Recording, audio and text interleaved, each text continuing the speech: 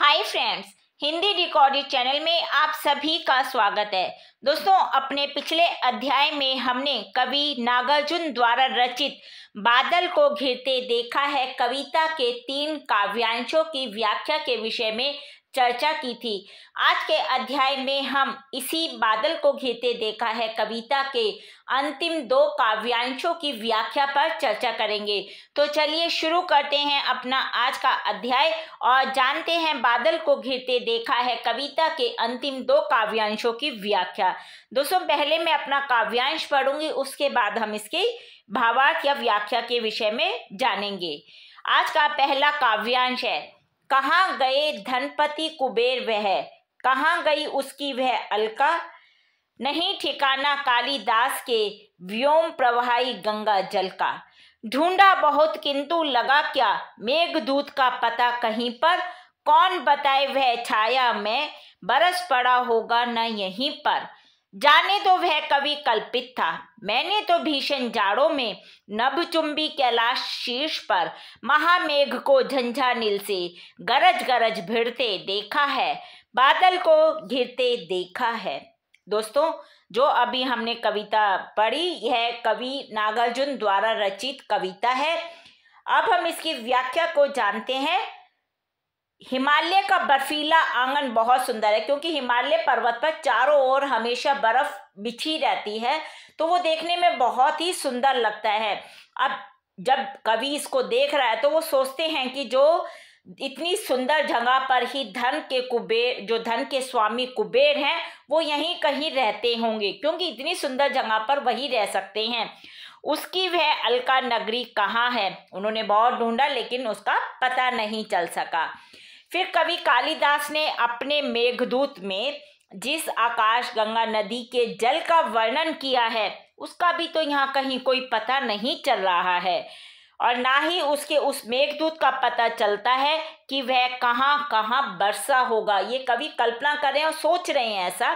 और कवि कहते हैं कि वह तो यहाँ के प्रत्यक्ष देखे गए सौंदर्य की बात करते हैं, जो उन्हें उस समय सौंदर्य दिखाई दे रहा है, उसकी बात कर रहे हैं, ना कि ये बात कर रहे हैं कि वहाँ पे उन्होंने धन की धन के स्वामी कुबेर का घर देखा, उनकी नगरी देखी, ऐसा कुछ उन्हें वहाँ कहीं दिखाई नहीं देता। कवि कहते हैं कि वे तो यहाँ सिर्फ़ अपने जो आँखों से सुंदरता को देख रहे हैं, उसी की बात कर रहे हैं।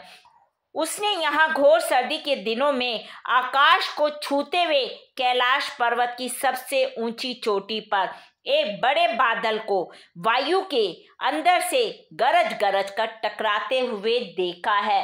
यानी कि हिमालय पर्वत पर उन्होंने बादलों को घेरते देखा है। अब दोस्तों, हम इसके अंतिम काव्यांश को पढ़ते हैं। शत शत निर्झर निर्झर निकल मुखरित देव दारू कनन में शोणित धवल भोज पत्रों से छाई हुई कुटी के भीतर रंग बिरंगे और सुगंधित फूलों की कुंतल को साजे, इंद्रनील की माला डाले, शंख सरीखे सुगढ़ सुघड़ गलों में, कानों में कुवलये लटकाए, शतदल लाल कमल वेणी में, रजत, रचित मणि खचित, कलामय, पान पात्र, द्राक्षा सब पूरित रखे सामने अपने अपने। लोहित चंदन की त्रिपटी पर नरम निदान बाल कस्तूरी मृग छालों पर पालथी मारे। मदिरा रुन आँखों वाले उन उन्मत किन्नर किन्नरियों की मृदुल मनोरम उंगलियों को बलवंशी पर फिरते देखा है। बादल को घिरते देखा है। तो दोस्तों, इसमें कवि कहते हैं कि हिमालय पर्वत पर देवदारू के घने जंगल है और उनमें सैकड़ों छोटे, बड़े झरनों का कल कल का स्वर गूंजता है। साथ ही वहाँ लाल और सफ़ेद भोज पत्रों से सजी हुई कुटियाँ हैं, जिनके अंदर हिमालय पर बसने वाले निवासी रहते हैं और वे निवासी कला में रुचि रखते हैं। और अपने बालों को रंग बिरंगे और खुशबूदार फूलों से सजाए रहते हैं।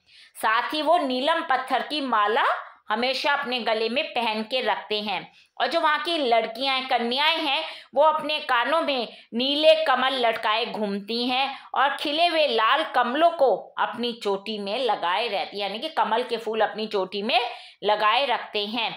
और जो वहाँ के किन्नर हैं, वो नर और नारी वेश में, नशे में लीन रहते हैं हमेशा। उनकी आँखों में हमेशा नशे की लाली रहती है। वे मृग छाल से बनी मृग छाला के आसन पर पालथी मारे बैठे हैं और उनके सामने क्या रखा है? लाल चंदन से बनी तिपाई और साथ ही साथ कलात्मक सुराइयाँ भी।